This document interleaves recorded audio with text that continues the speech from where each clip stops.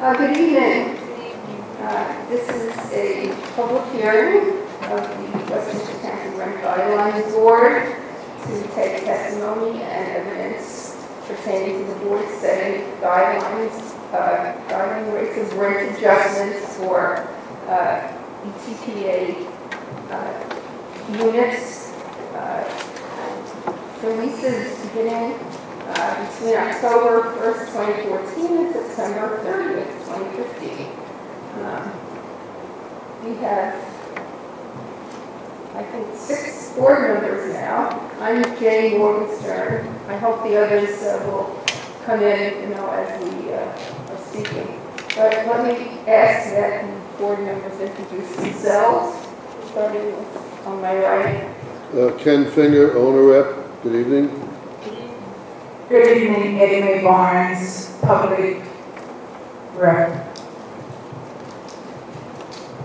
It's a Rubin, public rep.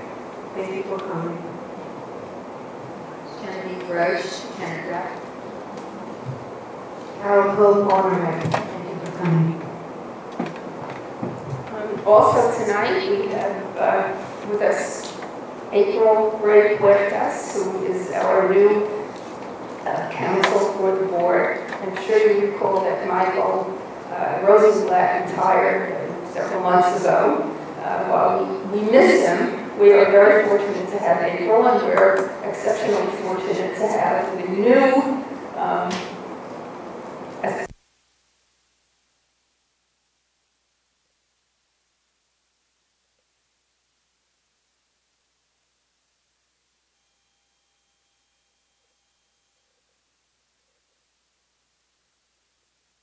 to the city for all those years. Uh, I want to thank each of, each and every one of you for taking the time to show up. Some of you I even recognize have shown up yesterday in Vernon and maybe showing up next week in White Plains again. It's very important for the members of the board to hear what you have to say. It's one of the factors they use when evaluating what to do.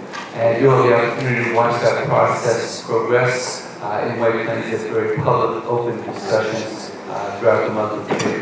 Uh, The schedule is on the internet right now, please, anybody needs it. I also want to thank the members of this board here because uh, although they get a tiny stipend, it's not nearly enough for the work that they do. It's almost a volunteer effort that they do uh, to to do this task every year. So I want to thank the owners reps, the uh, public reps, the tenant reps, and uh, the showman. I want to thank Howard for doing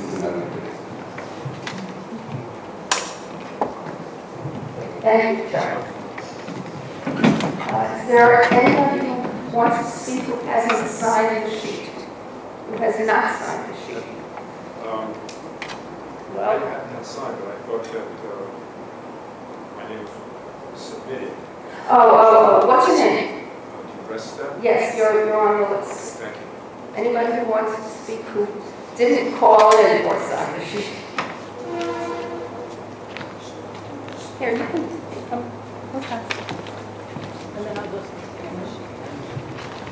And while we're doing that, let me also recognize Howard Brecken, our intrepid court reporter. I'm sure that those of you who have been here before recognize him.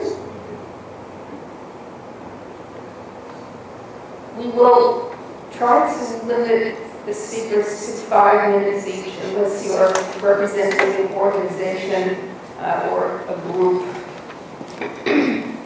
So, uh, Chuck, will you I will help us keep time? We're a little flexible, but not too flexible. If you have a handout, please uh, hand it up to April, and she will distribute it to the board members. Just uh, be careful to speak clearly and slowly so that we can all understand you and uh, introduce yourself and so forth. Okay, so the first uh, speaker is uh, Jean DeResta, owner representative.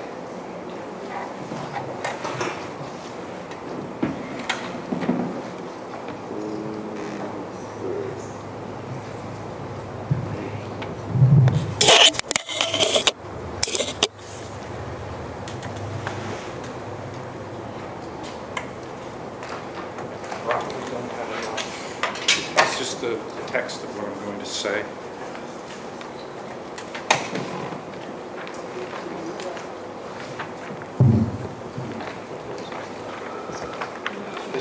My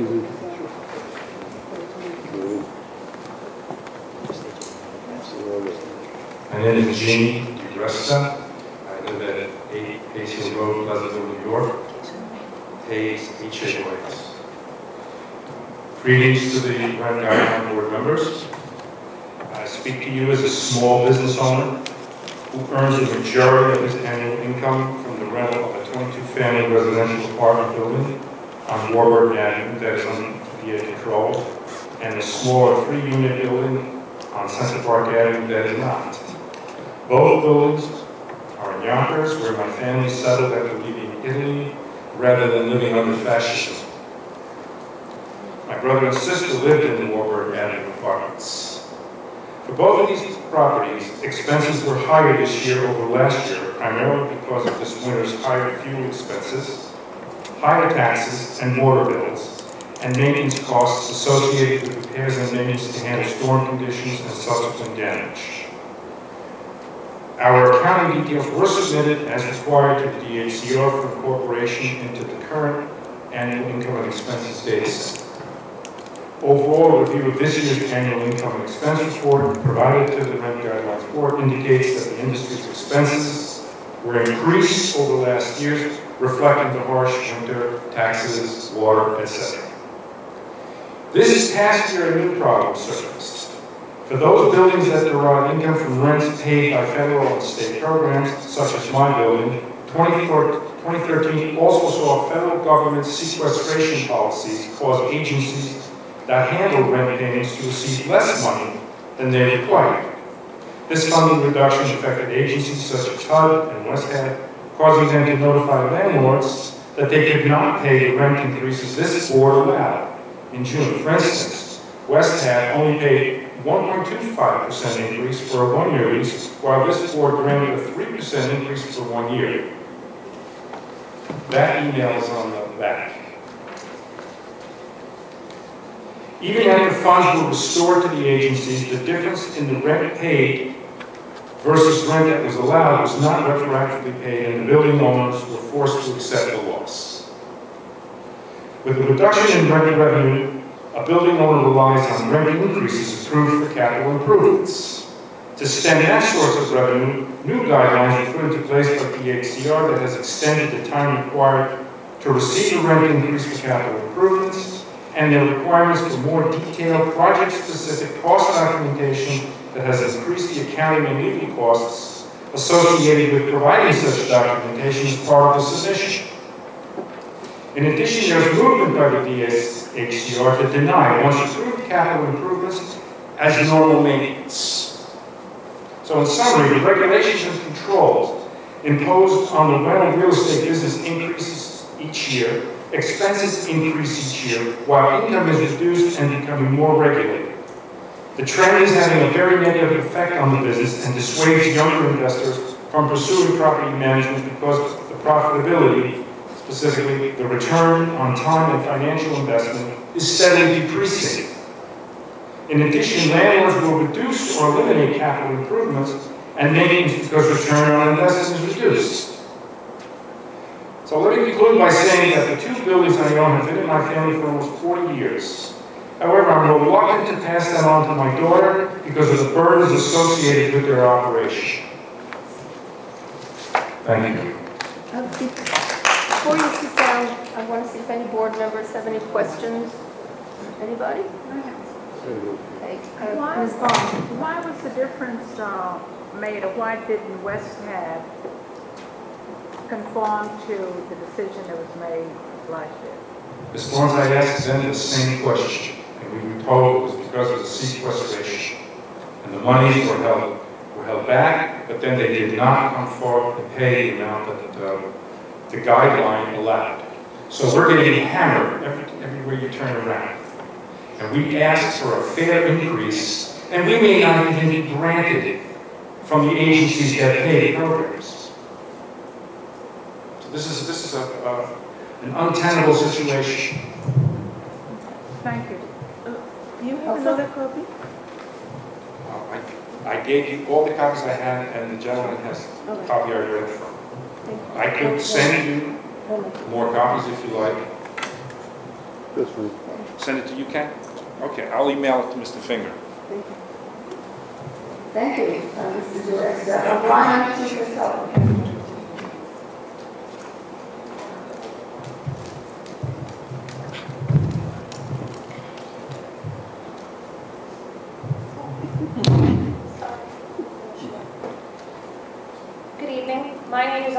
Chipatelli. I'm a real estate and insurance broker as well as the co-chair of the Apartment Owners Advisory Council. I also manage several small ETPA rental regulated buildings that my family owns. Last year, I spoke to the board for a need for a low rent guideline. As the reg- regulations, economic climate, and real estate industry have not changed or adapted to our desperate need for a low rent guideline, I once again find myself in front of this board asking the board to entertain the implementation of same. Case in point, four units out of a 21-family building that my family and I own in Yonkers have rents well below market rate. Examples of same. Apartment 2A, a two-bedroom, it rents for $310 per month. It's inclusive of cooking gas, heat, and hot water. The market rent in that building is 1,600. That's $1,290 below market. Second case in point. Unit 1F, also a two-bedroom in that complex, rents for $721.17. Again, the market rent here is 1,600. Again, the building is inclusive of cooking gas, heat, and hot water. That's $878.83 below market. Also, another problem I find myself facing with low rents is the tenants are exercising the option they have of succession, which is granted to them with ETPA, which further exacerbates this problem because there's no adequate check and balance for the landlords, as the low rents will never get anywhere near market. Succession also truly denies those needing affordable housing. My family and I deal with extensive losses created by these low rents, which have severe impact on our budgets. Also, in our case, you can't take the position that the market rents are subsidizing those below market. As in the case with many smaller buildings, there are not enough units to go around to hold water with that argument. Something has to give in order to close the gap and still maintain services for our tenants. But at the end of the day, the numbers are black and white, and the loss is a loss. If these buildings are a co-op or a condo, there will be assessment added to a monthly maintenance when an excessive bill comes in, i.e. heating this season. As you are aware, apartment owners of ETPA units cannot do that. So what is the solution? How can the pain, if you will, be shared of these low rents? I ask that a separate addendum be added to the legislation to properly address this issue. A low rent guideline is necessary to help smaller landlords like myself stay in business. In closing, I would like to state that when I first started out in our family business about 20 years ago, my mother told me that if I was to give one piece of advice to you, she would tell me that when you stand, make sure you deliver. If for some reason you can't, sit down, regroup, and come back to the problem another day. As in the end, your word is your bond. I, I make sure when I stand for the buildings I deliver, out of respect for my grandfather who started this business over 60 years ago, out of respect for my father who built the buildings, and also out of respect for my tenants who have entrusted their housing needs in my care, and I take that very seriously. But the problems that low rate generate are far beyond my control, and as such, I am desperate, I'm in desperate need of a low rent guideline so as to help me maintain the levels of service needed at our buildings. Your help in this matter would be greatly appreciated. Thank you for your time. Any board members, any questions or comments? Uh, Ms. Love? Thank you. I have a question. You say you own the whole building and four of the 21 apartments are rent stable? No, I said four of the, the building is rent stabilized, four have low rents. But you, uh, but you own the entire building? Yes, ma'am. But what I'm saying is there's 21 units in the building, they don't offset the low rents in the building. Anybody? Thank you very much. Thank you. Uh, Before we have the next uh, speaker, let me just uh, note that we uh, now have two more members present. Linda Jean Lofton, the lieutenant member, and Joe Dean, uh, public member. More handouts for the next I don't think there are enough handouts, but we'll get, uh, you'll get them later. Uh, Okay, uh, Matthew Christoph. Good evening. Matthew Persanis, PGR, S-A-N-I-S. Uh, My name is Matthew Persanis. I'm Labor Counsel for the Building and Realty Institute.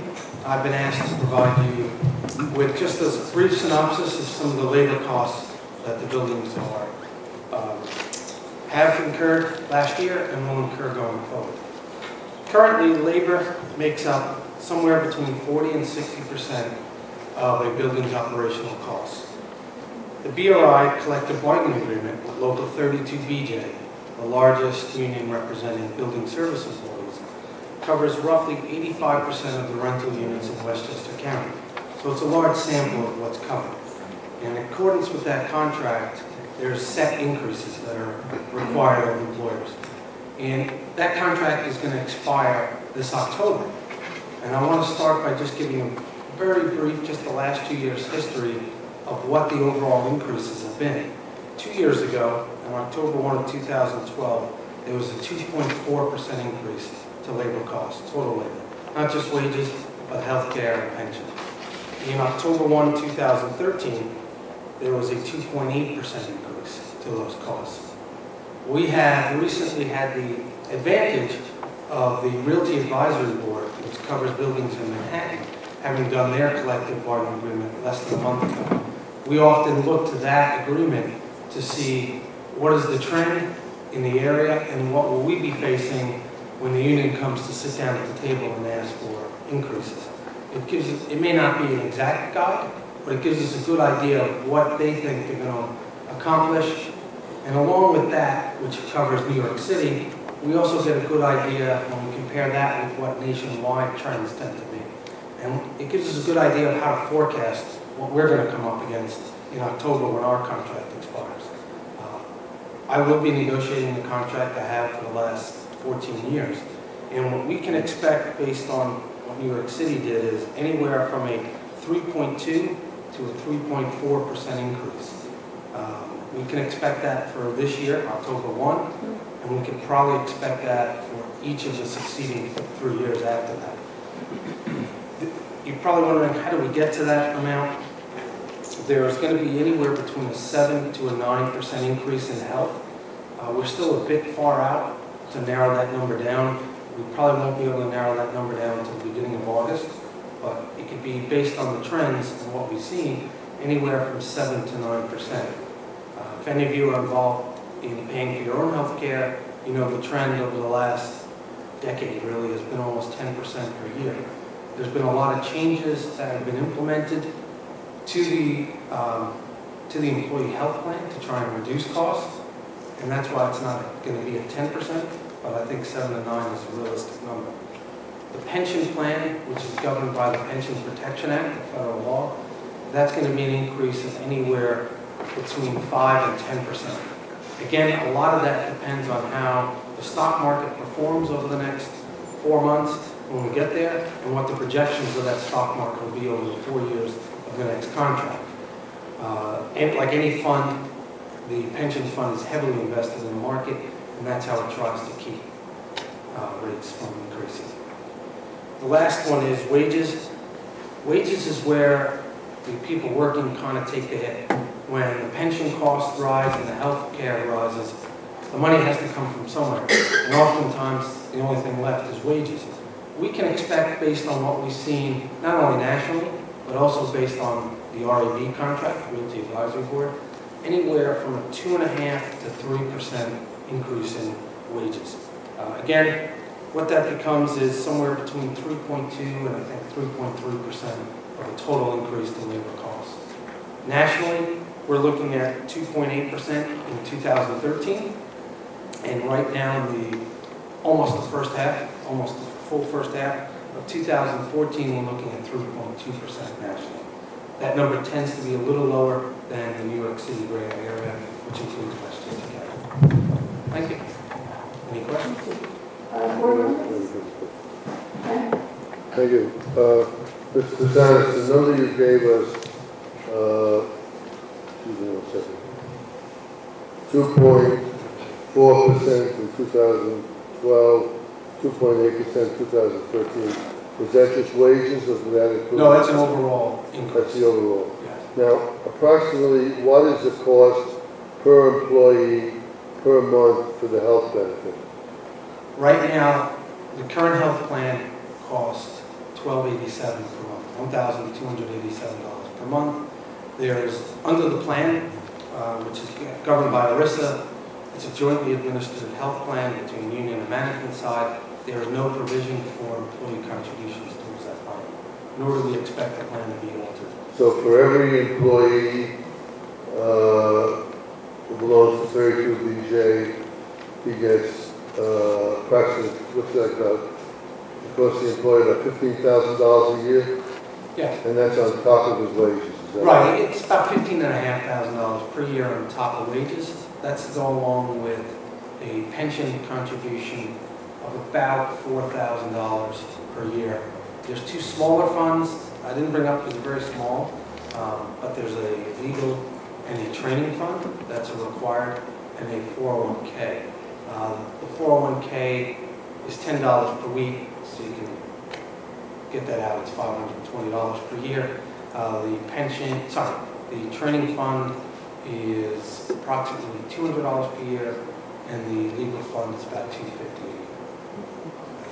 Overall package though was two point four in 2012, 2.8, and, well, like I said, about three point two to three point three percent this year. Thank what you. we're expecting. Uh,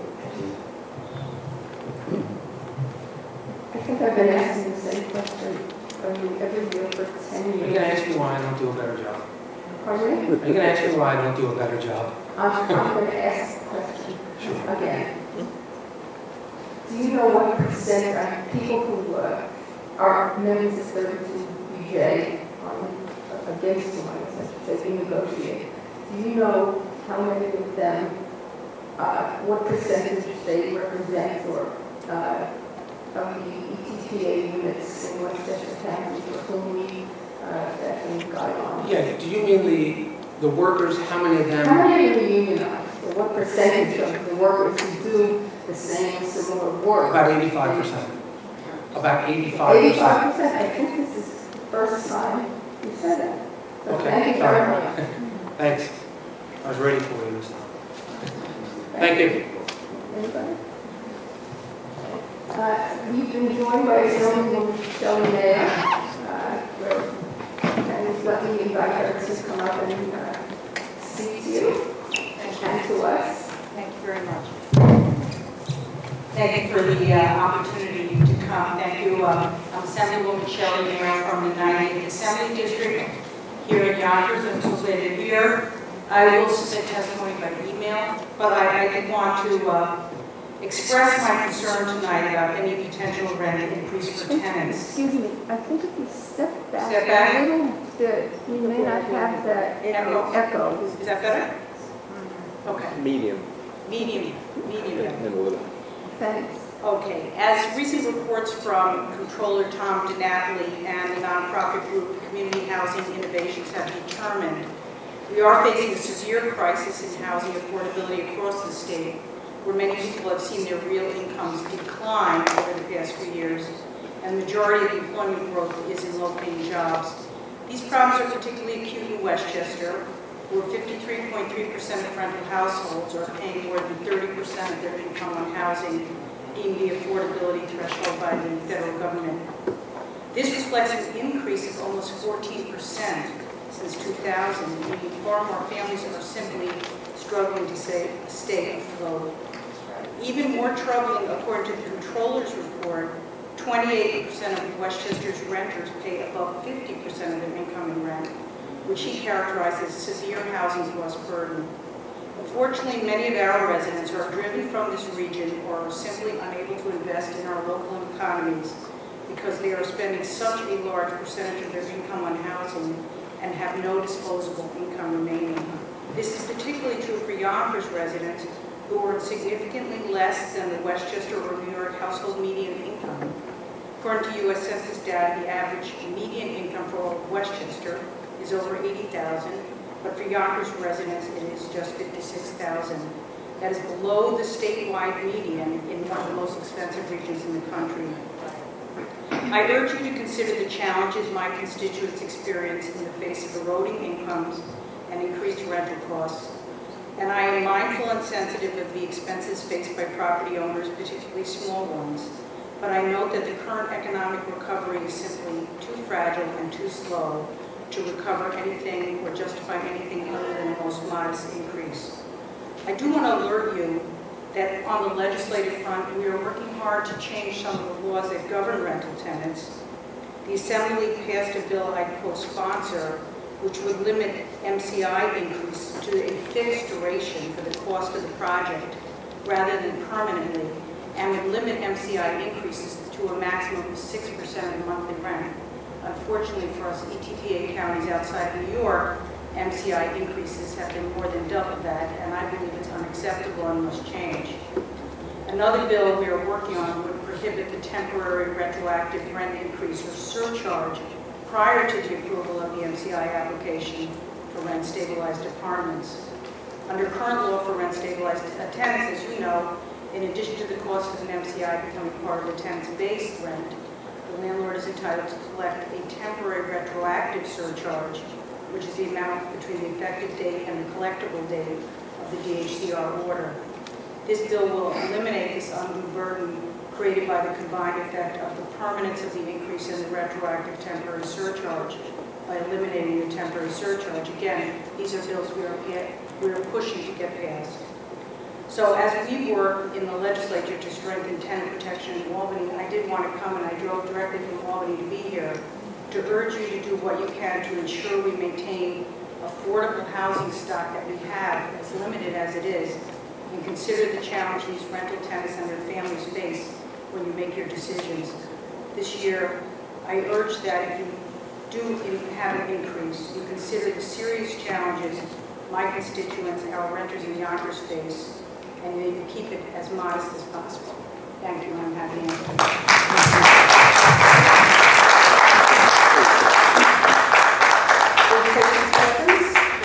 Mr. uh, Wheeler? Uh, Wheeler, thank- Wheeler, Wheeler. I'm sorry, John. You first. Good evening, thanks very much for coming out. Like I imagine your to-do list. Uh, could I ask you, the median income in Yonkers, what would that apply to every single family residence? That's how, the- that's uh, census, that's census data from the American Community Survey from 2012, which I cited, I'll, I'll give you the. And what was that about? The median income, 56,000 at the 2012, 56. Thank you very much. Uh, yeah, Thank you, Assemblywoman, uh, for coming. I- I'd like to know what the legislature is doing to put more money uh, into the hands of tenants to assist them to pay their rent when you recognize that there is a problem of many paying more than the statutory acceptable 30%. Are you talking about an MCI? I'm talking about what the oh. legislature is doing to put money into the hands of tenants, period, so that they are not faced with the problem with paying such a, what you said, is a large portion of their income in rent. What is the legislature doing to correct what is a social problem? I appreciate the Well- fact that you expect the landlords to deal with it. What is government doing to deal with it? Well, I know for myself, I'm pushing very hard to enact legislation that would allow localities like Yonkers to enact a higher minimum wage, which would, I believe, contribute to many of these lower income uh, tenants having the ability to, to make enough money. So we are, I, I personally have an agenda to try to help tenants make more money Well, on the how- side. How about something that would put the money directly into the hands of tenants? How about uh, more money into SCRIE, more money into programs of that nature that will assist tenants directly? Uh, it- It's nice to say, let's increase the minimum wage. You know and I know that isn't really, uh, it'll it'll take years before that seeps down uh, to the, uh, to the And I tenants. respectfully disagree with you because the bill that is having traction in Albany is not to increase the minimum wage statewide, but to allow localities to adopt a higher minimum wage. And that actually has some potential of possibly passing, but I'm in favor of additional funds for SCRIE and other programs that provide money directly to tenants. So what's happening to make that happen? Ken, this is, this is not intended to be a forum. No, but I have a right to ask her questions, and I'm asking questions. May- She's may complaining. to say No, she's complaining about the fact that their, uh, the, the, the a percentage that tenants pay is great, and she put down for two statistics, fifty-three percent pay more than thirty percent, twenty-eight percent pay more than fifty percent. I'd like to know what the, and she's putting it on the landlord. What is the legislature doing? She's here as a legislative representative, I have the right to ask that, and this is a very intelligent Well- person who I'm sure can answer. She did answer it, as far as I'm concerned. If there's something more you want to add, I would please say say I'm happy to review what we did in the budget and come back to you with an answer you on the specifics of what we added. But I can tell you in the assembly, there's been a strong, strong uh, push to increase screening, to put money directly into these programs so these tenants benefit. Okay? Anybody else? Thank you very, much. Thank you.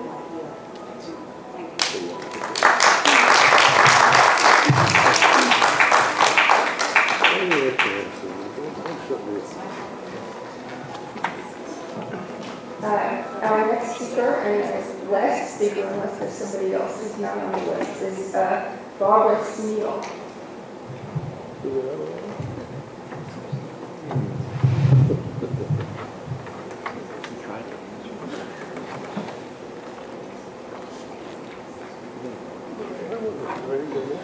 Good evening, everyone. Good evening.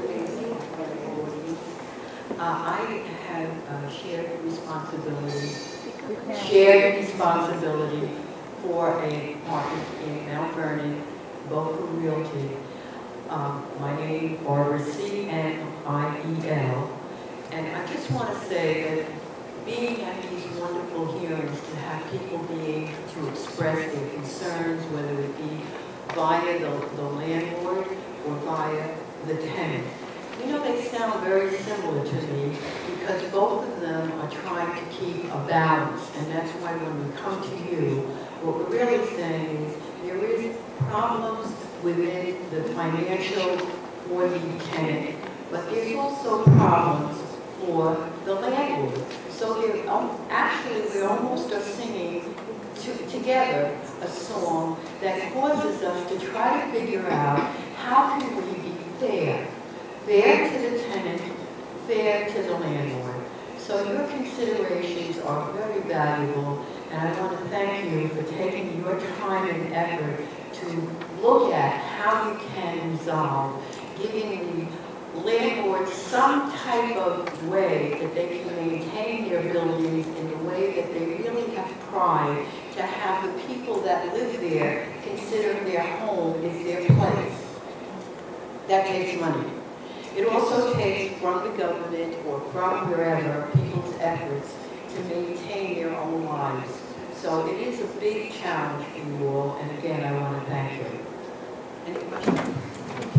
Thank you very much. Just what's the size of the building? How many units? Uh, this is an eight-family, uh, eight-family building. Thank you. Anybody? Anybody else? Thank you very much, Sure. Uh, Ms. Neal was our last speaker, at least uh, on the list. If there's anybody else who wants to speak, uh, this is your opportunity. Move to adjourn? No, we have another speaker. Oh, so she's here. She was the last, except Oh, that okay. I invited uh, another speaker. After you're finished speaking, we'll ask you to sign uh, our list. Thank you. Good evening, everyone. My name is Cynthia Miller. Are we supposed to tell our address? No, that's okay. Okay. Uh, What I'm here to say is no more increase. And the reason I'm bringing this to the attention is because of the fact there are so many people that are out of work. There are people that are, families rather, that are doubling up. I know in my own household, I had to help someone else because they're in a situation. One of the things, um, my other hat is with Congressman Eliot Engel's office. And as a caseworker, this year I have seen an increase of either evictions, people not finding apartments, and they always think we can help with housing. Unfortunately, we cannot. And right now with rent increases and families having such a hard time just making it, it really, if anything, rents need to really come down. it has been so difficult for a lot of families. And so I, I come before you hoping there will be no more increases at this time.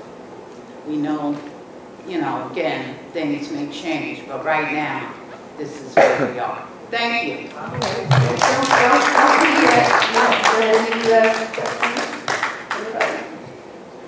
I guess, I, I, I- I signed up for you, so. Thank you.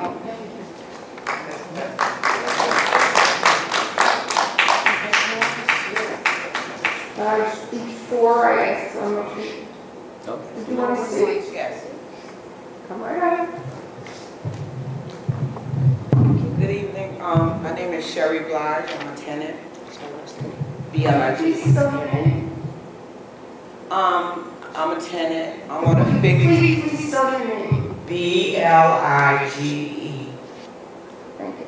I'm on a fixed income. I receive social security disability. And, um, the rent is just astronomical. I mean, it, it, unfortunately, I got, I got injured. Uh, I was a working person who had to work two jobs just to have someplace decent to live. And I feel that with the rent increase, especially a person who's disabled and who don't have their own fixed income, you can only pay so much. I'm still relatively a young woman, you know, and um, it's just a lot in all these increases. I understand that the, the landlord have to do maintenance and all that stuff, but why should the tenants have to suffer?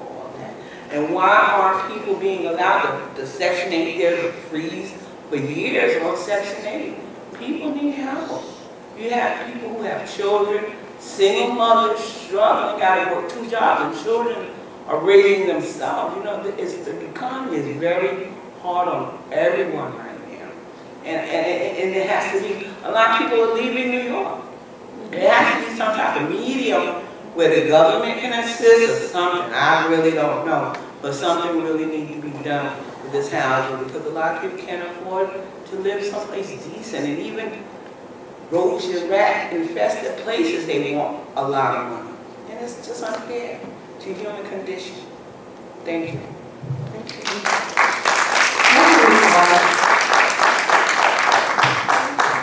Before we adjourn, I just want to uh, more public uh, hearing, in uh, White on Monday, June 9th, next Monday.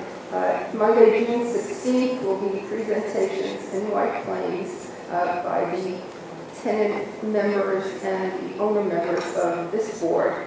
And uh, on Monday, June 23rd, we will follow the recent practice of having um, rebuttals on, on that day, as well as discussion among board members and a uh, vote to set the guidelines. So uh, I hope that some of you or all of you will be able to attend those last two meetings. Thank you so much for coming out. We have a motion to adjourn. So moved. Edna Barnes, seconded by Joe Ewan. Discussion? Thank you. Uh, all in favor? Aye. Okay. We're adjourned.